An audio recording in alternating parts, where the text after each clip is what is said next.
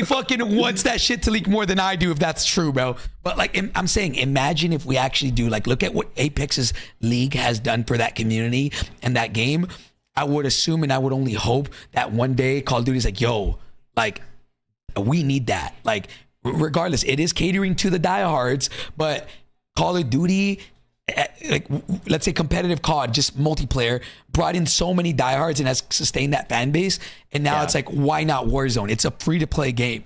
Like you can bring in so many people, and like it's marketing, bro. it- it's it makes bro. people more, much more, like you said, Hector, like diehard people. It makes them a lot more invested in what we're watching. You know what I mean? It keeps people around, and it's like they don't just come and go. They don't play the game. They're like, oh, I don't like the game anymore. I'm out. Like they play the game. Let's say they don't like it, they'll still pay attention to that competitive side. They're like, yo, like I, I, I, uh, I used to play Dota 2 a lot. Like me and my brother, we used to play it just growing up. I don't play it anymore, but me and my brother, every year the international comes around, he's like, yo, like Evil Geniuses is like they're cooking, and like I'll tune into that tournament. Like I absolutely love it. So like that's what it creates. It creates people that are are invested and they stay around.